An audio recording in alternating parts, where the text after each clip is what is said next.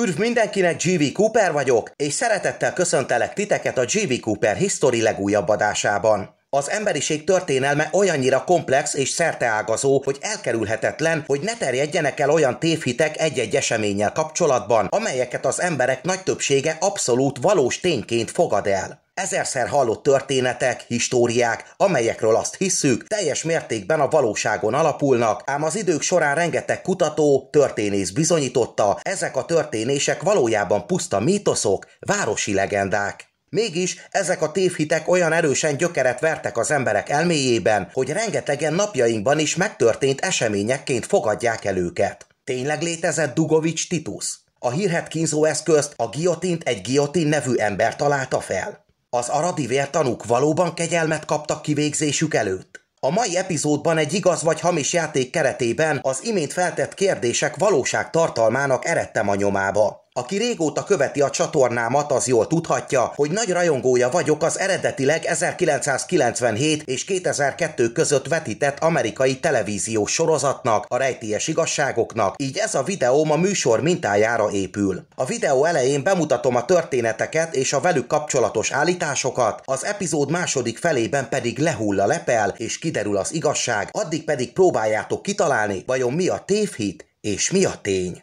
Tartsatok velem egy izgalmas utazásra a történelmi tények és fikciók világába.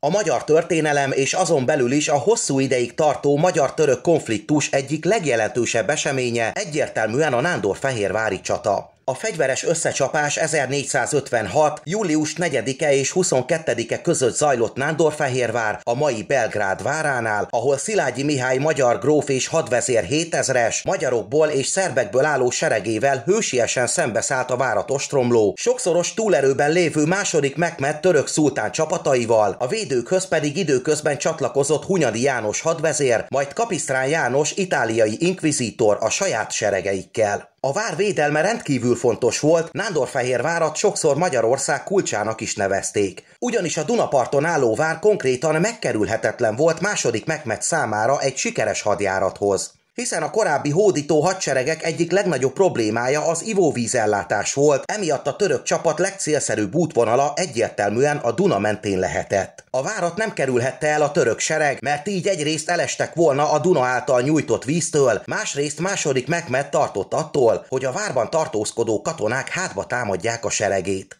Így ha Nándorfehérvár elesett volna, akkor szabad lett volna az út egy egész Magyarországra kiterjedő török hadjáratnak. Ám a vitézül harcoló magyarok és szerbek végül fantasztikus győzelmet arattak 1456. július 22-én második Mekmed seregei felett, a vereség után az oszmán hadak elmenekültek a Dunaparti vár alól, ezzel pedig Magyarország és Európa hosszú évtizedekre elhárította a török terjeszkedés veszedelmét. Azt hiszem, abban minnyáján egyetérthetünk, hogy a Nándorfehérvári csata egyik legikonikusabb pillanata, midőn egy Dugovics Titus nevű katona a saját élete árán akadályozta meg, hogy egy török harcos kitűzze a török zászlót a vár egyik tornyára. Dugovics megragadta a zászlót lengető törököt, és mivel máshogy nem tudta a törököt megakadályozni tettében, magával rántotta ellenfelét, mindketten a mélybe zuhantak, ahol szörnyet haltak. Így akadályozta meg élete feláldozásával a nándorfehérvári hős, hogy gyalázatessék a váron, és Dugovics Titus a hazaszeretet és a hősi önfeláldozás egyik legfontosabb jelképévé vált. Erről gondoskodott Wagner Sándor magyar festő is, aki 1859-ben megfestette a híressé váló eseményt. Azt hiszem, nincs magyar ember, aki ne ismerné ezt a híres jelenetet ábrázoló festményt. No de mi az igazság? Tényleg megtörtént Nándorfehérvár 1456-os ostromakor ez a jelenet, sőt, létezette egyáltalán egy magát a hazáért feláldozó Dugovics Titus nevű katona? Hamarosan kiderül, előtte azonban ismerkedjünk meg egy feletté bizarr és ijesztő kínzó eszköz történetével.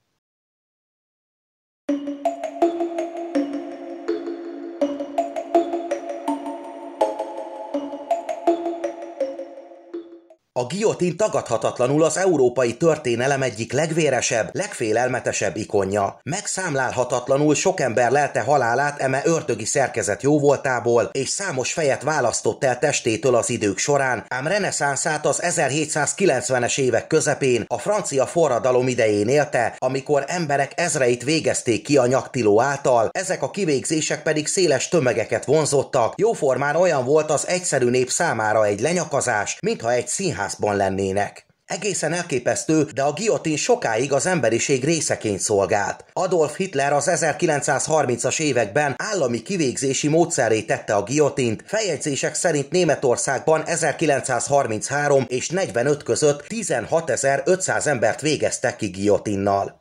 Ám a giotin még a 20. század végén is halálbüntetési módszer volt Franciaországban. 1981. szeptemberében törölték el végleg ezt a kivégzési formát, az utolsó személy, aki giotin által lelte halálát, egy Hamida Jandoubi nevű tunéziai férfi volt, akit barátnőjének a meggyilkolásáért nyakasztak le 1977. szeptember 10-én. A giotinnal kapcsolatban egy kettős mendemondáról is beszélhetünk. Közismert tény, hogy ezt a kivégző eszközt Joseph Ignaz Guillotin francia orvos találta fel. A férfi 1738. május 28-án született Franciaországban, Sanz városában. 1770-ben doktorált a Párizsi Orvos Tudományi Karon, 1775-re igen ismert és híres orvos lett. A férfi 1789-ben azt javasolta a francia parlamentnek, hogy ki kell találni egy olyan kivégzési módszert, amely fájdalommentesen veszi el a halára ítéltek életét. Így történt, hogy egy ilyen szerkezet kifejlesztésével a doktor lett megbízva, aki hozzá is látott a kivégző eszköz létrehozásához, és a férfi 1792-re meg is alkotta ezt a szerkentyűt, amely aztán egy népszerű kivégzési módszerré vált, és el is nevezték feltalálójáról, Joseph Ignaz Guillotinról, így lett a nyaktiló neve Guillotine. Majd néhány évvel később ironikus módon Guillotine az a szerkezet alatt lelte halálát, amelyet feltalált. Ugyanis a doktort is Guillotinnal végezték ki, így találmánya okozta a végzetét. De vajon valóban így történt minden? Tényleg Guillotine doktor találta fel a guillotint, és az ő halálát is az általa feltalált kivégző eszköz okozta. Mielőtt megtudjuk ezekre a kérdésekre a választ, ismerkedjünk meg a harmadik történettel, a magyar történelem egyik legtragikusabb eseményével.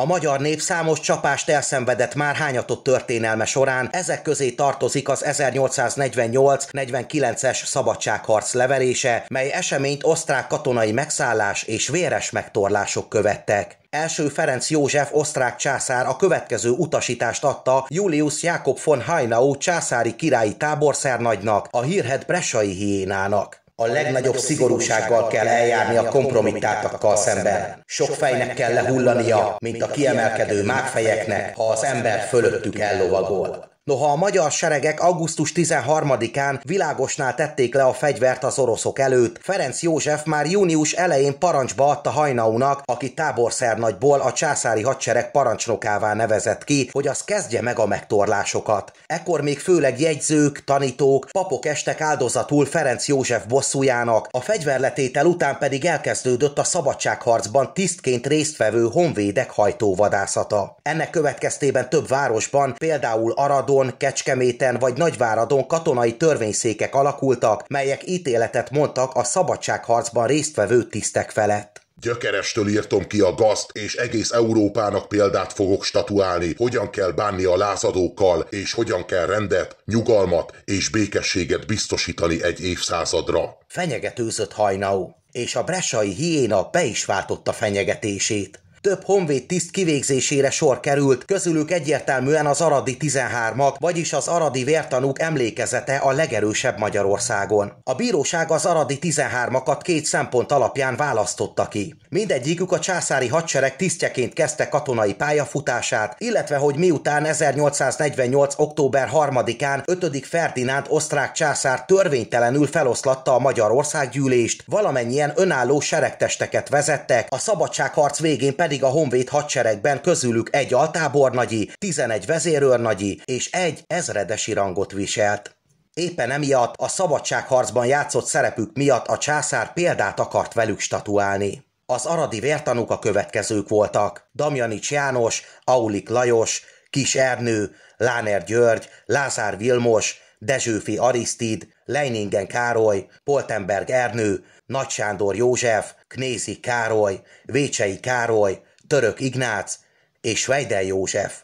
Ezeket a magyar, német, szerb, osztrák és horvát származású férfiakat 1849. október 6-án végezték ki a napjainkban Romániához tartozó Arad városában, valamennyiüket kötél általi halára ítélték, ám később négy fő, Lázár Vilmos, Dezsőfi Arisztid, Kisernő és Vejdel József esetében az ítéletet golyó általi kivégzésre változtatták. Hajnau a kivégzéseket szándékosan az 1848-as Pécsi forradalom évfordulójára időzítette. Reggel fél hatkor golyó által végezték ki az első négy halára ítéltet, hat óra után pedig megkezdődtek az akasztások. A kivégzések után a vértanúk testét egy egész álló nap a bitófán hagyták, majd miután leszállt az éj, az agyonlőtt honvédeket a sáncárokban, míg a felakasztott tiszteket a bitófák tövében temették el. Röviden így zajlott le a császári megtorlások egyik legismertebb jelenete.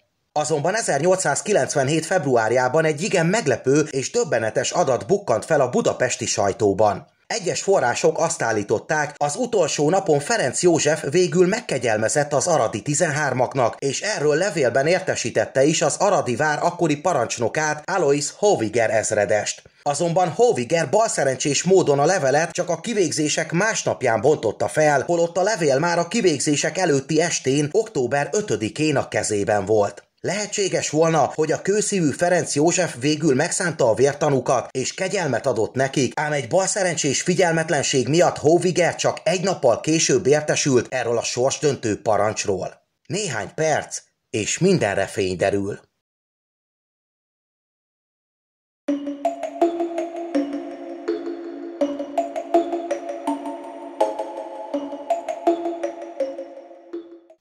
Dugovics Titus hősies cselekedetével kapcsolatban több probléma is felmerült az elmúlt évtizedekben. Történészek felhívták arra a figyelmet, hogy a legendás esetről a magyar történelmi krónikákban több évszázadon keresztül egyetlen szó sem esett. Egy itáliai kortárs történetíró, Antonio Bonfini, aki Hunyadi Mátyás megbízásából a magyar történelem összefoglalásába kezdett, 1492 körül tett említést először a Nándorfehérvári várostrom kapcsán egy magyar vitézről, aki az egyik toronyról a halálba rántott egy félholdas zászlót kitűzni próbáló török katonát. Azonban Bonfini egy szót sem ejtett Dugovics Titus nevéről, a magyar vitézt névtelenül említi. Meglepő, de ugyanezt a történetet Bonfini megemlíti a Nándorfehérvári diadal után 8 évvel történő Bosznia-Hercegovinában található Jajca várának 1464-es ostrománál is, amikor a törökök megtámadták a várat, és ott Bonfini szerint újfent szóról szóra lezajlott egy ugyanilyen esemény. Egy várvédő magával rántotta mélybe egy zászlót kitűzni próbáló török katonát. Kimondottan érdekes, de Jajca ostromával kapcsolatban egy Bonfinitől teljesen független történetíró, bizonyos Konstantin Mihajlovics szerb származású férfi szintén megemlékszik egy várvédőről, aki saját élete feláldozásával akadályozta meg Jajca várára a török zászló kitűzését. Ennek ellenére az 1800-as években kezdett Nándorfehérvár ostromával kapcsolatban terjedni ez a legenda, 1824-ben pedig a névtelen vitéz nevet is kapott, egy történetíró Dugovics Titusként azonosította, ugyanis abban az évben Döbrentei Gábor költő régi nemesi iratokkal igazolta a nemesi Dugovics család sarjaként Dugovics Titus, aki elesett a Nándorfehérvári ütközetnél. Így történt, hogy Dugovics Titus valódi személyként vonult be a magyar történelembe, és az ő nevéhez csatolták a hősi, törököt magával rántó vitéz alakját. Az 1900-as évek elején néhány történész már felhívta a figyelmet a szóban forgó iratok eredetiségének a problémáira, ám a pontot az 1990-es évek történészei tették az íre. Miután alaposan megvizsgálták a Döbrentei Gábor által Dugovics Titusról bemutatott iratokat, kijelentették, hogy a Dugovicsok nemesi eredetét igazoló iratok hamisak, ugyanis a Nándorfehérvári csata idején nem élt Dugovics nevű nemesi család Magyarországon. Az eredetileg Pozsony megyei Dugovicsokat 1674-ben nemesítette első Lipót. Ezután a család két ágra szakadt, az egyik maradt Pozsonyban, a másik pedig Vas megyébe tette át székhelyét. Egy Vas megyei Dugovics, bizonyos Dugovics Imre, mivel sokáig kétségbe mondták családjának nemesi voltát, az 1800-as években a Nándor-Fehérvári legenda népszerűségének csúcsán olyan iratokat mutatott be, az egyik 1459-ből, a másik 1705-ből származott, amelyekben az szerepelt, az ő egyik őse, Dugovics Titus volt a hősi vitéz a Nándorfehérvári csata idején, aki magával rántotta a törököt a toronyról zászlójával együtt. Azonban ezek a dokumentumok egyáltalán nem voltak összhangban az 1674-es első Lipót általi rendelkezésekkel, ráadásul Dugovics Imre két másolattal hozakodott elő, az eredeti iratokat sosem tudta bemutatni. Ezeket az iratokat elolvasva azonban Döbrentei Gábor fellelkesült és terjeszteni kezdte Dugovics Titus hősi legendáját. 1832-ben Titus Dugovics címmel balada jelent meg a hőstetről, 1859-ben pedig Wagner Sándor híres festményén tett tette ikonikussá és örökké Dugovics Titus hőstettét, ami kitörölhetetlenül égett bele a magyar emberek elméjébe. Azonban sajnos egyetlen valós, eredeti dokumentum sem igazolja egy Dugovics Titus nevű férfi létezését, aki a Nándor-Fehérvári diadal során a vár védői között harcolt. Történészek úgy vélik, Dugovics Imre a névtelen magyar vitéz legendáját felhasználva iratokat hamisított, és kitalált egy Dugovics Titus nevű szemét, mint rokonát, így emelve fel a Dugovics család tekintélyét. Történészek szerint egy amolyan vándor motívumról lehet szó, hiszen ezt a történetet más magyar, itáliai és cseh történetírók is feljegyezték, ám általában más ostromokkal kapcsolatban, amelyek a 15. században történtek Európában. A törököt magával rántó vitéz története számos középkori várostrom krónikájában szerepel, nem csak a Nándor-Fehérvári csatáról szólóakban. Emiatt biztosan lehet történelmi valóság alapja a törököt mélybe rántó vitéz történetének, és nem zárhatjuk ki, hogy a Nándorfehérvári csata alatt is elkövette ezt a hősies cselekedetet egy bátor vitéz, de ezt a vitézt nagy valószínűséggel nem Dugovics Titusnak hívták. Ilyen formán rántotta mélybe a fikciót egy ismeretlen vitéz.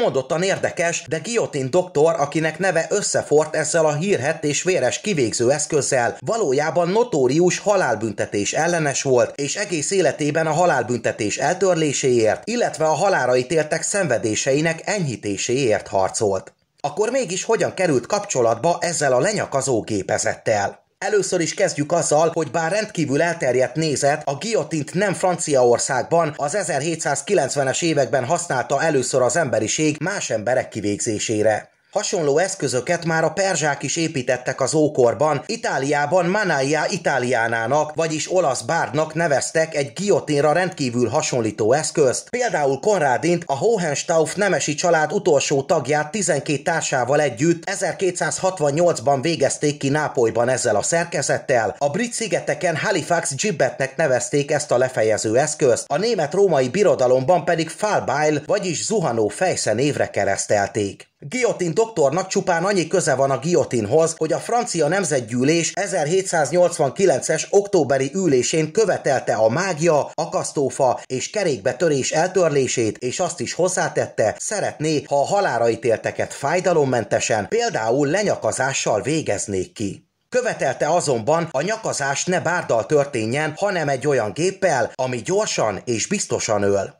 Hozzá kell tenni, a doktor korábban már próbálta eltöröltetni a halálbüntetést, ám nem járt sikerrel. Ekkor rájött, ez a cél felé kislépésekben vezet az út, ezért úgy határozott, első körben megelégszik annyival, hogy a halára ítéltek ne szenvedjenek. A büntető törvénykönyv tárgyalásakor 1791-ben a Nemzetgyűlés elhatározta, a kivégzések módja a nyakazás legyen, és minden más kivégzési módot eltöröltek Franciaországban. 1792. március 22-én pedig a parlament elfogadta, hogy Guillotine doktor javaslatára a nyakazást egy géppel hajtsák végre. Kimondottan érdekes, de ettől a perctől kezdve Guillotine doktor vajmi kevés szerepet játszott a Guillotine további sorsában. Bár ő is tagja volt annak a bizottságnak, amely Antoine Louis a király orvosának vezetésével tanulmányozta a szerkezetet, az első Guillotint egy Tobias Schmidt nevű német mechanikai szakember és zongoragyártó készítette el, amiért 960 frankot kapott. Pontosan nem tudjuk, de Schmidt guillotine prototípusára valószínűleg hatással lehettek a korai perzsa, skót, olasz vagy német római, hasonló elv mentén működő kivégzőeszközök.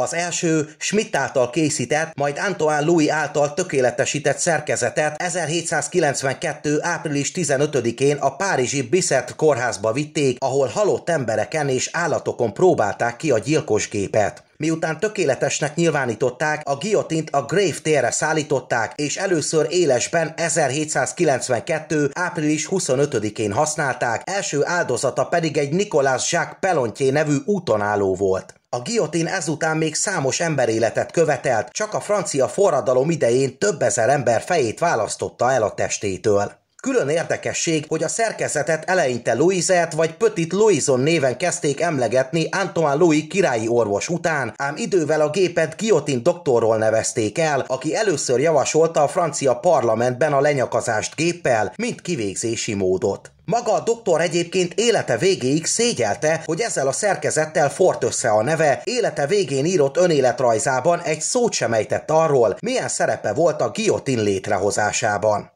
És mi a helyzet azzal a mitosszal, miszerint Guillotine doktort az általa javasolt kivégzőeszközzel, a guillotine nyakaszták le? Nos, ebből egy szó sem igaz. A doktor a francia forradalom idején börtönbe került, ahonnan Maximilien Robespierre politikus bukása után szabadult. Ezután visszatért praxisához, és részt vett az Országos Orvostudományi Akadémia egyik elődjének létrehozásában is. A köztiszteletben álló orvos 1814. március 26-án 75 éves korában hunyt el Párizsi otthonában, egy karbunkulus nevű betegség következtében, szó sincs arról, hogy lefejezték volna. Így vágta szét ezt a tévhitet félelmetes pengéjével a hírhed guillotine.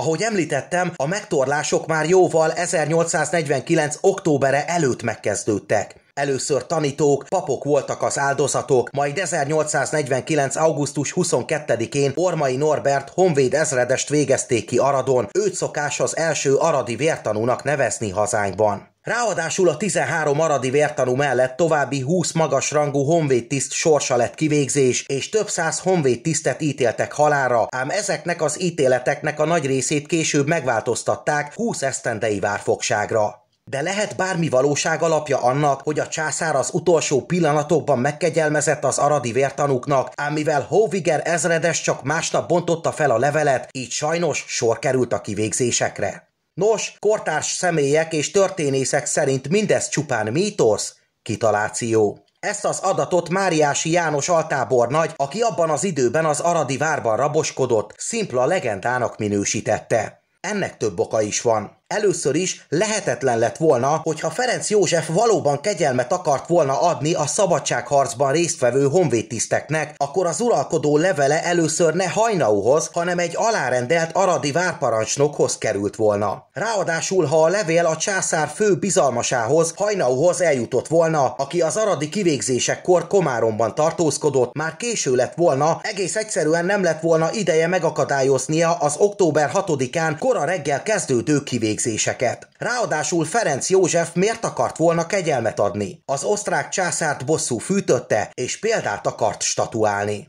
Szintén eme legenda ellen szól, hogy október 6-a után is folytatódtak a szabadságharcban résztvevő tisztek elleni megtorlások. Például 1849. október 25-én Kazinci Lajos honvéd ezredes, 1850. február 19-én pedig Ludwig Hauk alezredest végezték ki Aradon tehát az állítólagos megkésett kegyelemről szóló történet nagy valószínűséggel egy fiktív történet, semmi más. Így hozta el nekünk egy küldönc az igazság levelét. Remélem érdekesnek találtátok a videóban bemutatott történeteket. Ha tetszett nektek, akkor időről időre be fogok mutatni epizódonként három esetet, történelmi tévhitet, és utána járok azok valóságtartalmának, ahogyan jelenlegi tudomásaink szerint hivatalosan elfogadottak az eseményekkel kapcsolatos történések.